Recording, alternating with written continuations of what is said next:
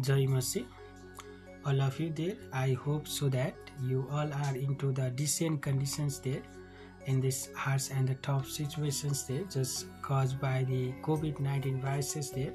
I hope that Jesus has just provided you the galore of the blessing in your life there as usual there. Today also there, just I like to motivate you from the Bible verse there. So today my message topic is this why the blessing in our life there really into the obscure form there? So what is behind the matters there? The real questionary mark are just been erupted there. So i'm going to convey that. What is behind the matters there? From john chapter 2 verse 1 to 9 there. From this verse there i'm going to convey the message there. Now i'm going to just been read the verse there on the third day, there was a wedding at Canaan in Galilee, and the mother of Jesus was there. Jesus also was invited to the wedding with his disciples. When the wine ran out, the mother of Jesus said to him, They have no wine. And Jesus said to her, Woman, what does this have to do with me? My hour has not yet come. His mother said to the servant, Do whatever he tells you. Now, there were six stone water jars there for the Jewish rites of purification, each holding 20 or 30 gallons. Jesus said to the servant, Fill the jars with the water, and they filled them up to the brim. And he said to them, Now draw some out and take it to the masters of the feast. So they took it. When the masters of the feast tasted the water, now become wine, and did not know where it came from.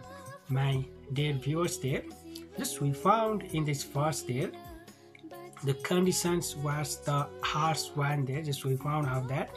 There has been the lacking of the wine there.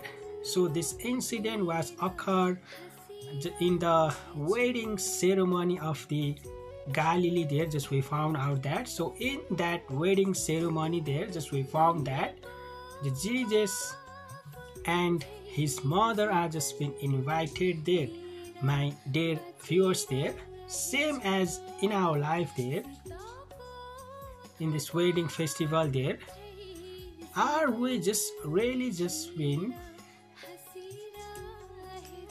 inviting the jesus?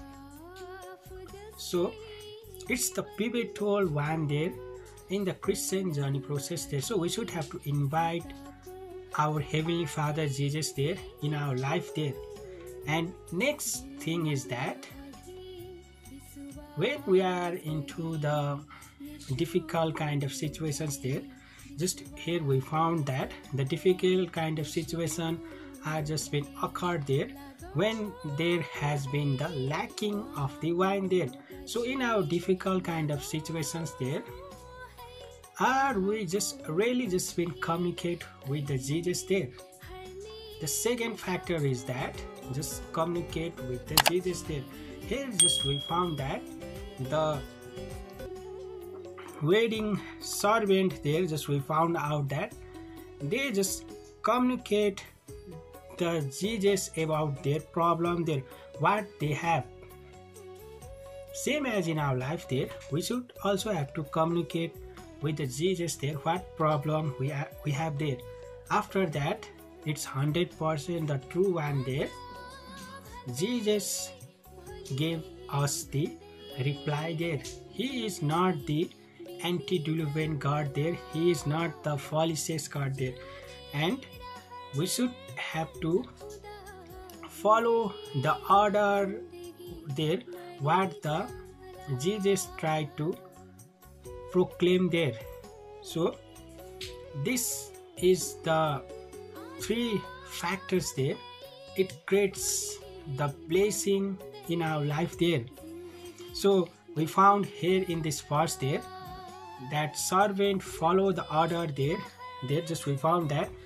And what the jesus told them there they fill the jars with the water there up to the brim there. Just we found into the seven verse there same as in our life there we should have to just follow the jesus order there.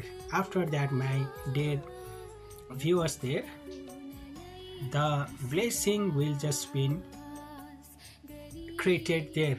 Otherwise my dear viewers there the blessing always have been into the obscure form there.